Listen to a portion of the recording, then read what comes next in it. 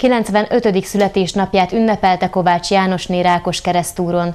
A köszöntőn emléklapot adott át dr. Rúzsa Ágnes jegyző, valamint virágcsokorral ajándékozta meg az ünnepeltet Fószti Vadar alpolgármester.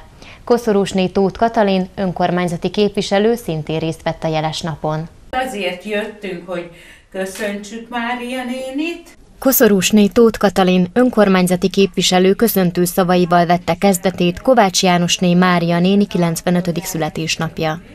Dr. Rúzsa Ágnes jegyző ajándék gyanánt egy emléklapot nyújtott át az ünnepeltnek, melyet Orbán Viktor miniszterelnök írt alá.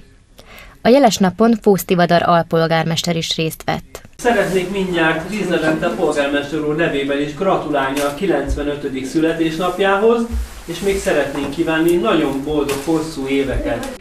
Mária néni 1922. január 26-án látta meg a napvilágot a Vas megyei Ikerbáron. Férje rendőrként szolgált. A házasság után 1948-ban költöztek fel Budapestre a 8. kerületbe. Egész életében varrónőként dolgozott egy fehérnemű készítő szövetkezetnél. Egy lánya és két unokája van. 2012 óta él a 17. kerületi új telepen. Az ünnepségről természetesen a torta sem hiányozhatott. A vendéglátás után Mária nénit a hosszú élet titkáról kérdeztük. Lennek vigyázzanak az egészségükre, akkor nem lesz semmi baj.